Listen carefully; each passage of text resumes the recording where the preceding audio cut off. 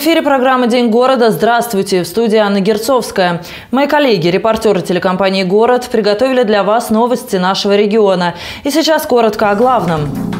В Рязани почтили память погибших при взрыве в метро в Санкт-Петербурге. Мужчина в алкогольном опьянении совершил жестокое убийство. Жертвами стали его жена и трое детей. Аномальные зоны в Рязани. Под землю проваливаются легковые и грузовые автомобили. Назад в будущее. О проектах по введению в Рязани в эксплуатацию надземного метро и дирижаблей.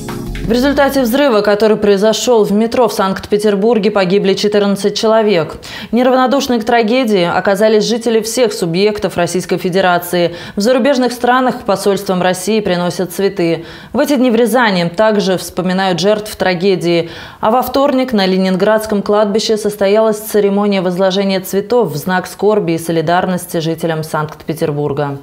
Рязанцы почтили память жертв теракта в Петербурге на Ленинградском кладбище. Десятки людей пришли к мемориалу. С собой они несли цветы и зажигали свечи в память о погибших. Букеты роз и гвоздик к памятнику блокадникам возложили мэр города Олег Булеков, глава Рязани Владислав Фролов и представители власти.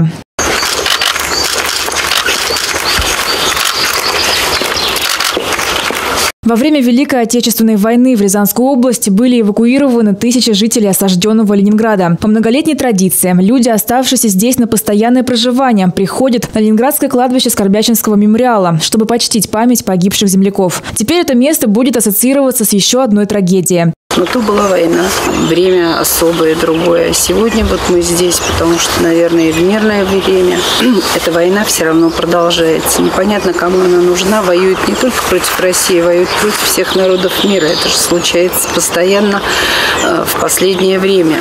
И страшно то, что, казалось бы, люди повзрослели, мир изменился.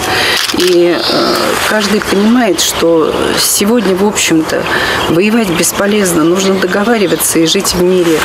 Когда погибают дети, погибают взрослые, ни в чем не повинные люди, как это случилось вчера в Санкт-Петербурге, это, конечно, страшно. Сюда рязанцы в эти дни могут принести цветы в память о погибших в Петербурге. Напомним, в северной столице объявлен трехдневный траур.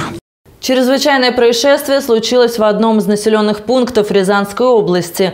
На днях мужчина 30 лет убил свою гражданскую жену и ее троих детей. Самому младшему совместному ребенку было всего 4 года. Как сообщают близкие и знакомые погибшие, подозреваемый в убийстве неоднократно поднимал руку на жену, часто выпивал. Возможно, следующий материал поможет тем женщинам, которые сейчас находятся в подобной ситуации, и они смогут вовремя обратиться в полицию или уйти. Трагедия произошла в ночь на 3 апреля в поселке Искра Рязанского района. Около 23.30 в одной из квартир в пятиэтажке были обнаружены тела 34-летней женщины и троих мальчиков, младшему 4 года, старшим 12 и 14 лет. Предполагаемый убийца далеко не ушел. В дежурную часть отдела МВД России по Рязанскому району поступило сообщение, что в подъезде одного из многоквартирных жилых домов поселка Искра находится мужчина со следами крови на одежде. На место происшествия незамедлительно выехала следственная оперативная группа. По приезду сотрудники полиции задержали 31-летнего жителя поселка Искра. Подозреваемого в убийстве четырех человек задержали у подъезда дома, где произошла трагедия. По словам оперативников, на момент задержания мужчина пребывал в неадекватном состоянии, поэтому каких-то конструктивных пояснений дать не смог. Визуально он имел признаки алкогольного опьянения. В квартире сотрудники правоохранительных органов обнаружили четыре трупа – женщины и трех детей. На телах погибших было по пять колото-режущих ран. Как отмечают следователи, даже те люди, которые видели за свою жизнь многое, были поражены картиной, которая открылась им на месте происшествия. Следов борьбы в квартире, между тем, обнаружено не было. Пока непонятно, выломал ли преступник дверь или его впустили. Детей, судя по всему, он убил в кроватках, когда они уже спали. На момент трагедии мужчина с женщиной находились в разводе. Пропавшие люди, репосты в соцсетях, ориентировки, расклеенные по городу. В Рязани это происходит все чаще не потому, что больше людей теряется. Их усерднее стали искать. Шесть лет назад в Москве был создан общественно-поисковый отряд «Лиза Алерт». Название организации происходит от имени пятилетней Лизы Фомкиной. Девочка заблудилась в лесу со своей тетей в Подмосковье неподалеку от Орехова-Зуева. На протяжении десяти дней их искали. Поисках Лизы и ее тети принимали участие волонтеры, которых собрала родственница девочки, поскольку большие силы полиции были стянуты на проведение Дня города в Орехово-Зуево. Спустя 10 дней пропавших нашли погибшими. Как выяснилось, тетя в лесу отдала Лизе последние свои вещи, чтобы как-то согреть ее. После того, как нашли, сначала нашли тетю, через день нашли девочку. Суд медэксперты показали, что девочка была жива 9 дней. Вот. А, после этого люди решили объединиться, то есть э, посчитали несправедливо, что дети в мирное время погибают дети. После этого Лиза Алерт образовалась в Москве. Сейчас действует более чем в 60 субъектах Российской Федерации. Правильно, Лиза Алерт, на, потому как Лиза – это в честь имени девочки Лизы, а Алерт – это система безопасности поиска людей, аналог американской системы, то есть э, именно Алерт – внимание. По статистике, больше всего людей теряется в лесу. Именно поиски за городом обычно самые трудные. Валя? Здрасте. Мы вас ищем уже какой день. Вы в порядке? У вас ничего не болит? Живот не болит? Не болит, очень хочу есть пить. Да, сейчас накормим. Чтобы люди были найдены, а сотрудники Лизы Алерт сами не заблудились, они проходят обучение по различным методикам поиска. Два раза в год в Москве проводятся всероссийские тренировки. Базу предоставляет управление МЧС. В регионах людей обучают непрерывно. Рязанское отделение действует на протяжении пяти лет. Насчитывает более полусотни активных поисковиков. Два раза в неделю они собираются в офисе для обучения и выезжают в лес для отработки навыков. В прошлую субботу рязанские спасатели изучали изучали ориентирование на местности, обращение с рациями, компасом, картами, учились прочесывать лес. Каждый человек теряется по разной причине. Да, ребенок, но как его просчитать можно, ребенка? Невозможно просчитать. Поэтому нас обучают, как э, правильно искать ребенка, да, где что. Например, если в лесу потерялся ребенок, то он не откликнется на чужой крик, да, ни на ваш, ни на мой, тем более мужчины. Поэтому всегда на поиск идет кто-то близкий, там бабушка, дедушка, мама, папа, то есть чтобы ребенок слышал родной голос. Пожилых людей в лесу ищут по-другому, а тех, кто потерялся в городе, стараются просчитать, куда мог пойти человек, чем заняться. Происходит расклейка объявлений, информирование и опрос окружающих по ориентировке. Все действия участников Лиза Алерт согласованы с полицией. Полиция всегда идет навстречу, э, всегда нам отвечает, то есть никогда не заставляют нас ждать. Вот, и могут дать какие-то свои задачи, что, в принципе, логично с волонтерскими организациями взаимодействия либо могут э, разрешить какие-то действия, которые мы считаем, что были бы целесообразны в данном поиске. В поисках содействия оказывают представители магазинов и торговых центров. Во время съемок этого сюжета Лиза Алерт разыскивала одного из рязанцев. Зайдя с ориентировкой на него в микрофинансовую организацию, поисковики столкнулись с отдачей. Э, в данной организации попросили у нас ориентировку, э, чтобы они распространили по всем своим, скажем так, киоскам. И я думаю, сейчас это пойдет. В этот раз пропавший был найден через пару часов после данной разыскной деятельности. Такой вариант поиска называется информативным. А вот большие силы стягиваются для поиска маленьких детей и пожилых людей, чьей жизни угрожает опасность. В случае с восьмилетним Павлом Лариным, который пропал осенью прошлого года в районе Дягилева, 3000 волонтеров приехали в Рязань из Москвы, Калуги, Владимира и других городов. Мальчик был найден погибшим, но очень многие жизни спасены. И сотрудники Лиза Алерт получают огромное удовольствие от того, что смогли кому-то помочь. Мне очень нравится помогать, и внутри, не знаю, радость. Просто радость от того, что я сделала добро кому-то. Но есть такие дела, которые можно отложить. Поход в магазин, в кино, в театр можно всегда отложить. Это моя точка зрения. В арсенале Лиза Алерт есть еще масса приемов и собственные кинологи с собаками. Напоследок хотелось бы привлечь внимание всех рязанцев. Сейчас Лиза Алерт разыскивает Виктора Березина 41 -го года рождения. Если кто-то его видел или знает точно его местоположение, просьба сообщить об этом в Лиза Алерт или в полицию. Сотрудники Рязанской госавтоинспекции продолжают удивлять методами работы с гражданами.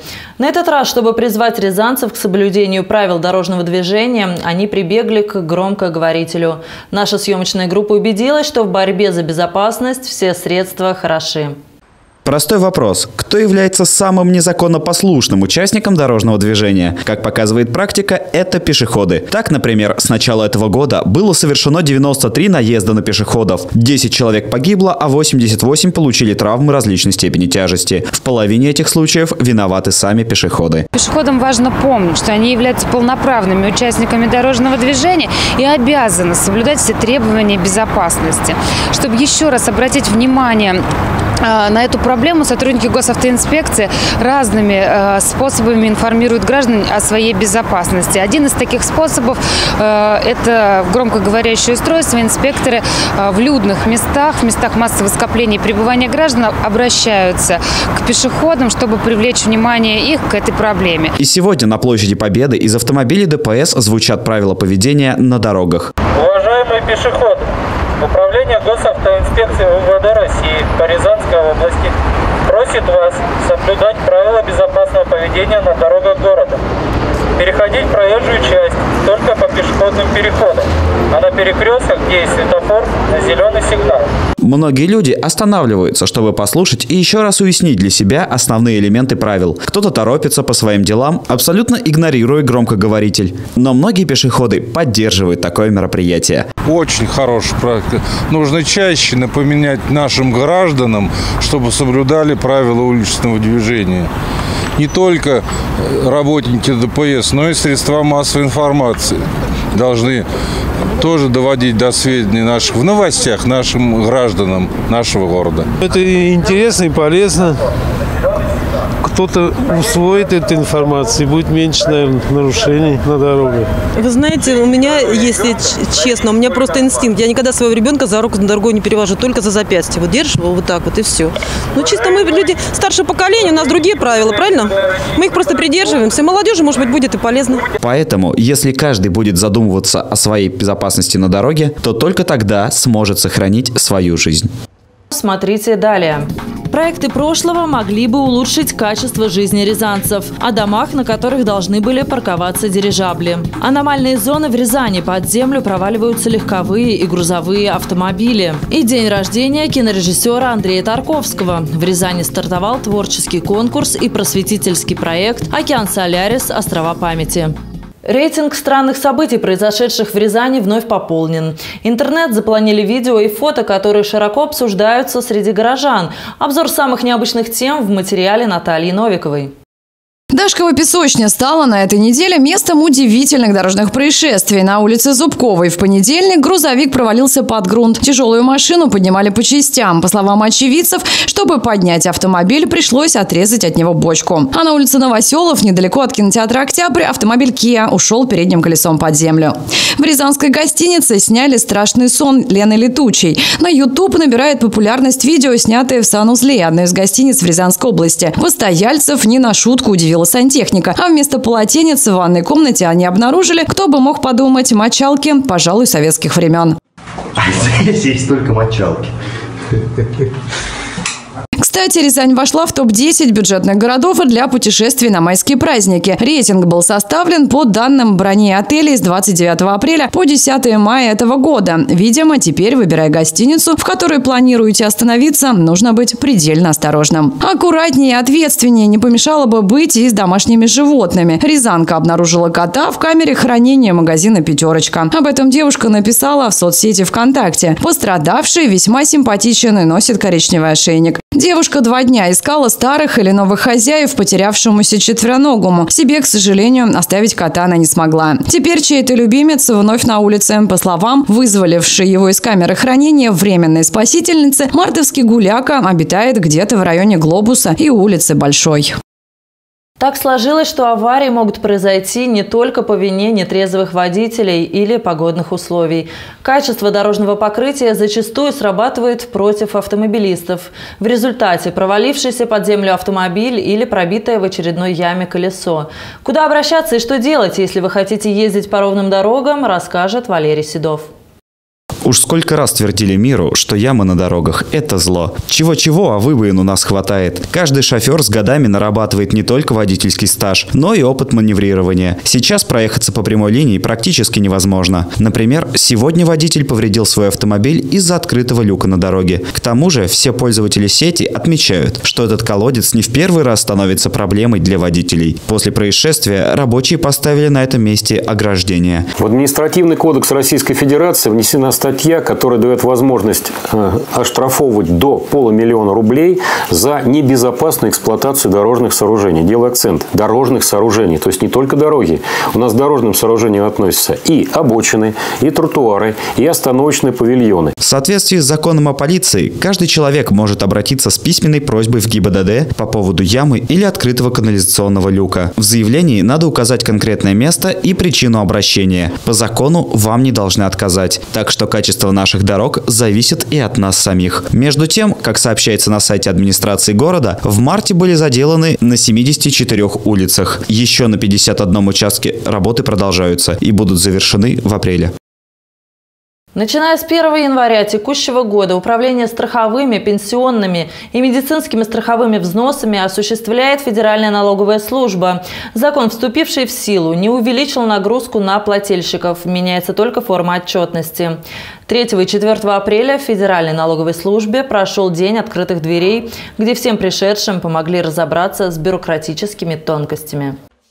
В различных магазинах к нам часто пристают продавцы-консультанты с целью помочь в выборе того или иного товара. На различных интернет-сайтах всплывают окошки помощников, а также работает много специализированных чатов. Кажется, что в современном мире всегда есть люди, готовые выручить нас в сложных ситуациях. Такое происходит и сегодня. Например, согласно новому приказу Федеральной налоговой службы, на смену четырем формам отчетности придет одна. Также в электронной форме предоставлен порядок их заполнения. В связи с тем, что расчет по новой форме будет предоставляться в налоговые органы органы впервые, у плательщиков возникает множество вопросов, и налоговая служба пошла людям навстречу. Учитывая, что э, у налогоплательщиков возникает множество вопросов по заполнению этой новой формы, а также по заполнению платежных э, документов на уплату страховых взносов, Федеральной налоговой службы принято решение о проведении э, всероссийской акции э, «Дни открытых дверей» для э, плательщиков страховых взносов, которые проходят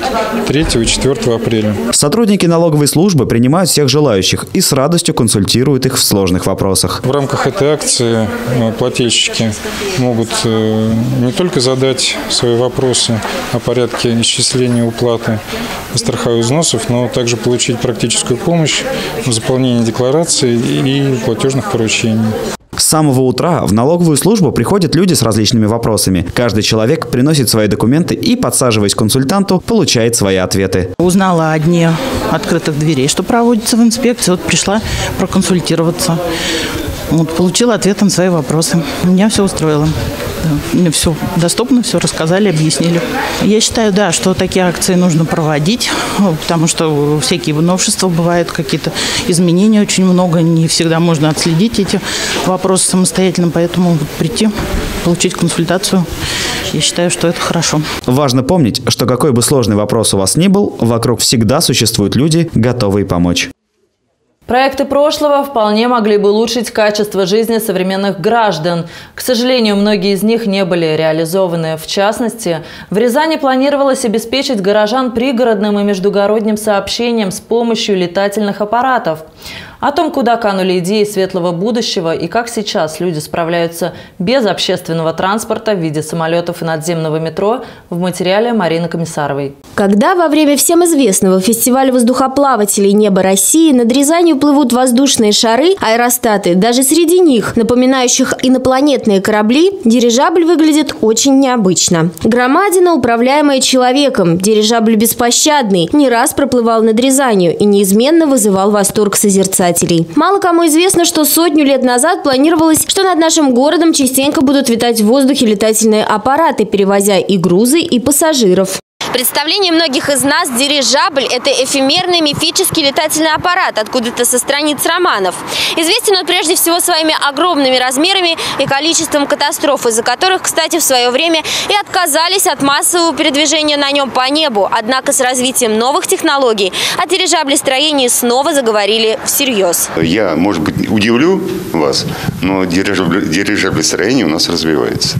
Более того, Россия одна из трех стран, в которых, э, в которой вообще это направление сильно развивается. То есть есть свое это направление живо сегодня э, в Германии, это направление живо сегодня в Соединенных Штатах Америки. И третья э, страна, в которой живо это направление, это Россия. Грузоподъемность современных дирижаблей может достигать 66 тонн. В планах российских конструкторов-инженеров создать механизм, способный поднимать в воздух 250 тонн. Летательные машины нового поколения в таком случае смогут решить множество проблем, например, доставлять грузы в абсолютно любую местность. Их недостаток, небольшая скорость до 140 км в час перекрывается множеством плюсов. Дирижабль приземляется на любые площадки, без посадочных полос, аэропортов, необходимых самолетом. Выходит, что дирижабль Дирижабли просто созданы для нашей страны. Аэропорты не нужны, дополнительные работники тоже, топливо можно не тратить. А для нашего региона и вовсе святое дело обзавестись собственными дирижаблями. Основоположник практической космонавтики Константин Эдуардович Циолковский. К тому же основатель дирижаблестроения. Именно в его работах можно найти те идеи, которые спустя несколько лет использовал Цепелин при запуске первого воздушного корабля. К тому же бытует легенда, что на крыше одного из домов по улице Циолковского в середине 20 века планировалось организовать площадку для посадки дирижаблей. Историческое сообщество города пообещало помочь нам найти тот самый дом, и мы непременно посмотрим, как выглядит площадка. А пока инициативная группа разрабатывает туристический маршрут, посвященный Константину Циолковскому. Есть такая мысль создать дириж... маршрут дирижабля от Рязани до Ижевского и обратно. Ну, соответственно, потом сейчас вот уже, ну, скажем так, и продлить его и в сторону Калуги, в сторону другого города, который тесно связан с биографией Солонковского. Это, да, есть. Вы когда-нибудь видели настоящий дирижабль? Только в кино. Удобно ли было бы по воздуху перемещаться? Чем бы это помогло нам? Как вы считаете? Ну, я думаю, что э, была бы транспортная разгрузка. Хорошая причем. Дирижабль как вид транспорта, как вы думаете, это реально или не совсем? Не знаю, никогда не катался на дирижаблях. Так, так только видел где-нибудь по телеку или в интернете. Ну, вживую просто видел, но лично сам на них не перемещался никогда. Вы бы стали ездить на, э, летать на дирижаблях из Рязани куда-нибудь в район, или побоялись бы, или вам это было бы интересно, как вы считаете? Ну, может быть, было бы интересно. Хоть раз, но попробовать надо. Менее фантастическим и более проверенным средством сообщения Рязани с близлежащими районами, городами и даже странами могли бы стать самолеты. Пожалуй, Рязанская область – единственный регион ЦФО, где отсутствует гражданский аэропорт. Хотя базы для перевозки граждан воздухом есть. Взять хотя бы аэропорт Турлатова, ныне поросший травой и используемый исключительно для частных полетов на легкомоторных самолетах, и аэродром Протасова. Плюсов масса, это просто расположение нашей, нашего аэродрома такое, что оно находится вот, ну, буквально в логистическом центре, как говорится. Тут и, так сказать, мощнейшая такая структура, инфраструктура. Это и автомобильная, вот э, трасса М5, мы на ней сидим непосредственно.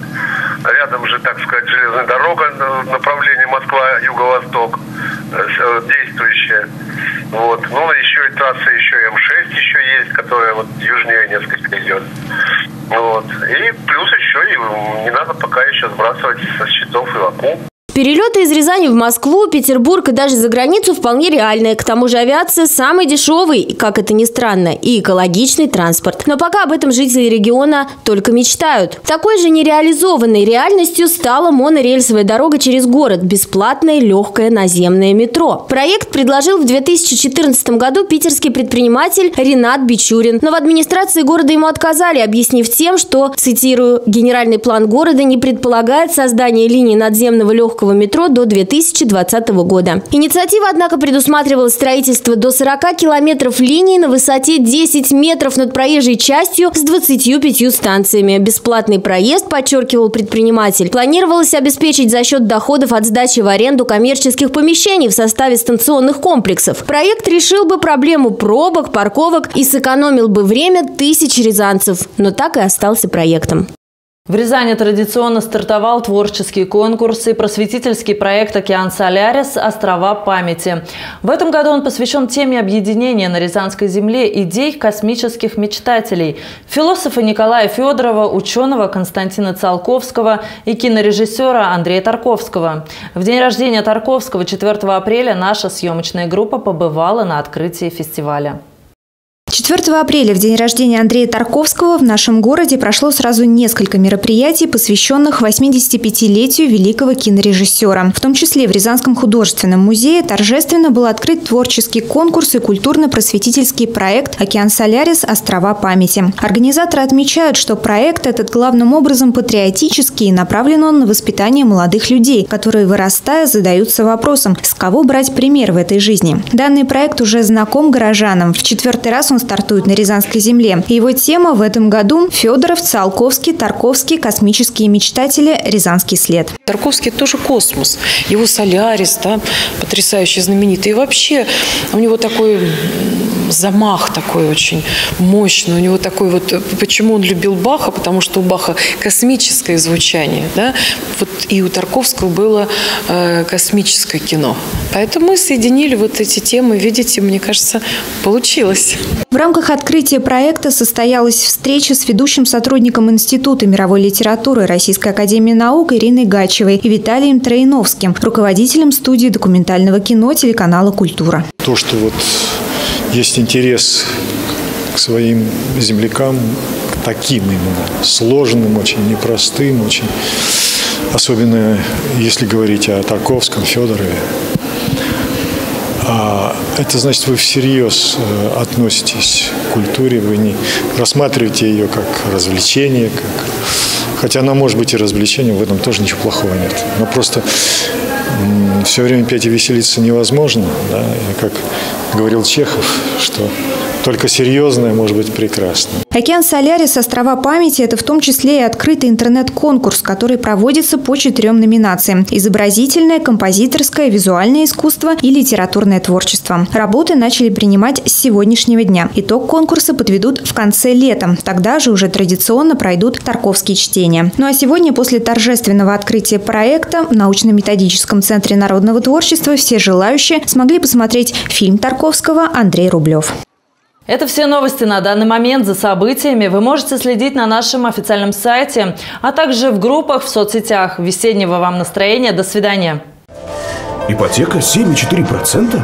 Ипотека 7,4%? Как? 7,4%? Да, всего 7,4%. Ваша выгода составит 450 тысяч рублей. Только 6 квартир в месяц. Программа доступной ипотеки от компании «Зеленый сад» и ПАО «ВТБ-24».